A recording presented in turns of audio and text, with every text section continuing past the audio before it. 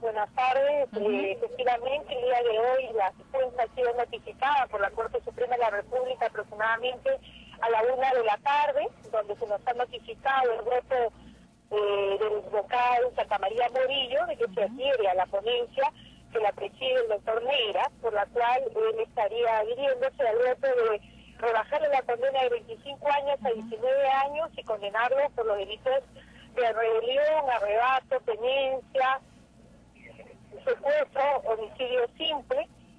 Y desde ya la defensa, como ya lo había manifestado en anteriores oportunidades, no comparte esta, esta posición lamentable del Poder Judicial, un Poder Judicial que está demostrando no tener una independencia, de nuevo no tenemos que enfrentar a un, a un Poder Judicial como ya nos enfrentamos a un Tribunal Constitucional donde las no son independientes sino políticas y donde el camino de, la defensa va a ser una vía de áreas corpus con camino a la Corte Interamericana de Derechos Humanos, donde esperamos, sí, en una instancia supranacional encontrar la justicia que no le hemos encontrado en el Perú y donde se ha cerrado toda posibilidad de que se esclarezcan hechos que no se han querido esclarecer. No se ha querido esclarecer quiénes serían los autores de las muertes sucedidas bailas tanto de los cuatro policías como de los dos caceristas.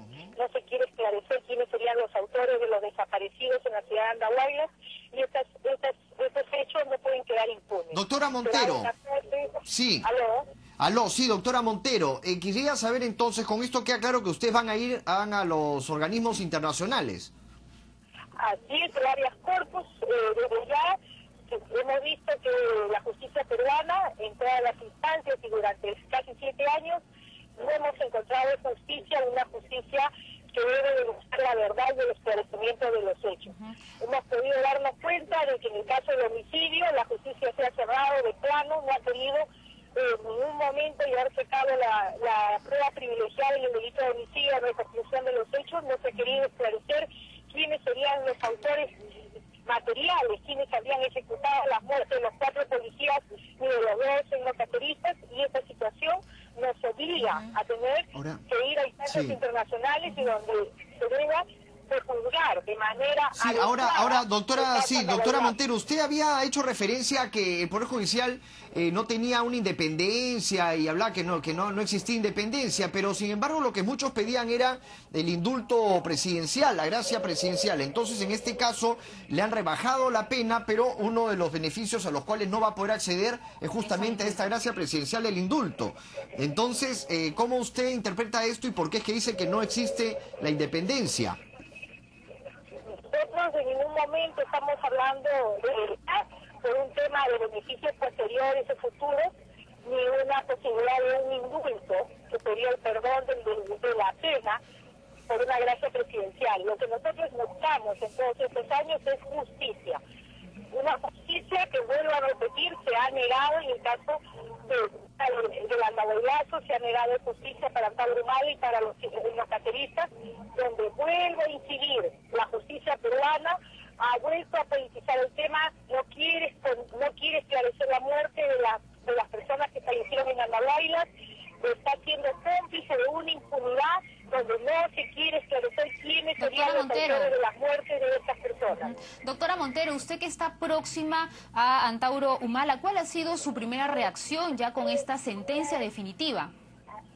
Bueno, Antauro Humala siempre con gran optimismo, él como líder de su partido, del, partido no católica, él eh, no se sorprende de estos fallos judiciales durante todos estos años, fallos judiciales que siempre han sido fallos que han tenido una influencia politizada, un poder policial, donde todavía tiene los rezagos de la mafia montesinista, donde todavía hay jueces rezados de jueces no independientes y que fallan pues apartándose de la verdad, apartándose de la justicia y donde no se quiere esclarecer la verdad. El pueblo tiene que entender de que en el caso de Antauro Mala la justicia ha cerrado filas y no quiere esclarecer la verdad de los hechos. Ahora, ¿cuál sería, cuál sería, claro, cuál sería, doctora, doctora Montero, cuál sería esa verdad? Porque, como se sabe, eh, el endocacerista Antauro Humala, eh, su defendido, ha sido condenado justamente a 19 años de prisión por los delitos de homicidio y secuestro en el denominado Andahuaylazo, la muerte de estos cuatro policías. ¿Quiénes responden por la muerte de estos cuatro policías?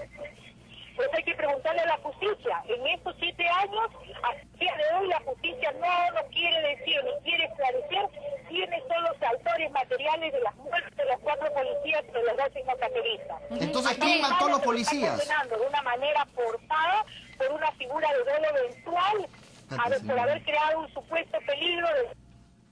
¿Sí? ¿Se fue? Doctora Montero. ¿Se fue? Parece se fue la llamada. se cortó la Se llamada, cortó la llamada, ¿no? Ujú. Vamos Bueno, a tratar de recuperar la llamada porque, por supuesto, han quedado muchas preguntas pendientes. Inconclusas, ¿no? Así es. Ah, bueno, para la abogada definitivamente, claro, no no, no está contenta con, con, Con, con esta esto, sentencia, ¿no? Con esta sentencia. Ya, ya ha manifestado que van a recurrir entonces a la Corte Interamericana Así de es. Derechos Humanos. Así, es, prácticamente le ha echado la culpa, hemos podido escuchar, ¿no? Al Poder Judicial, dice que, que es injusto, que, que no ha habido Claro, una porque ella independencia. refiere de que Antauro Humala y los otros etnocaceristas pues no son autores materiales Claro. de Entonces los la pregunta que quedó inconclusa era quién, quiénes son, ¿no? Así ¿Quiénes es. son? Bueno, vamos a continuar con Vamos otras informaciones.